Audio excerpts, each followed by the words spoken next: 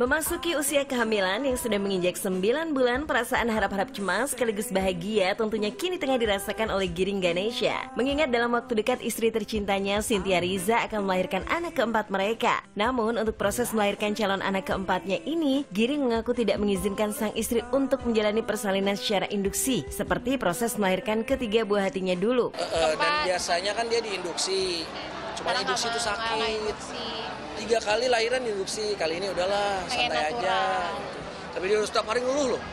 Capek ya capek. Ya sabar sabar. Aku udah minta induksi cuman sama dia jangan lo sakit lagi nanti. Makanya pengennya mudah-mudahan sebelum Jumat si baby mau keluar ini udah mau bentar lagi masuk 40 eh, ya Pak 10 bulan.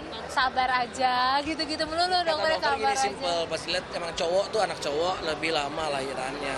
Ini biar cepet lahir jalan-jalan. Makanya kita seneng banget. Kita diundang ke premiere Han Solo nih sekalian. Kita penggemar Star Wars. Dia sekalian siapa tahu jalan-jalan. lagi excited nonton gitu mules kan? Lagi lihat ke rumah dar sakit. gitu kan. Namanya solo. Namanya Han Solo nanti anaknya. Sentuhan rasa Dan melihat dekatnya waktu kelahiran buah hatinya tersebut, lalu apakah Giring dan Cynthia sudah mempersiapkan nama untuk sang anak? udah udah udah tapi nggak boleh tapi yang jelas yang, yang udah udah keceplosan yang sekali ngasih- Gua ngasih nama, tapi satu lagi yang ngasih nama adalah Kurai. Om Kurai. Karena waktu itu gue nanya lewat Najwa. Najwa, namain anak apa? Tanya bokap lo dong, nanya namain anak gua dong. Gitu. Oh iya iya, maunya namanya apa?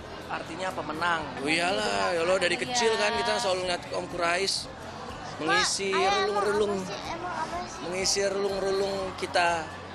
Eh, apalagi dengan tausiah-tausiah beliau yang luar biasa.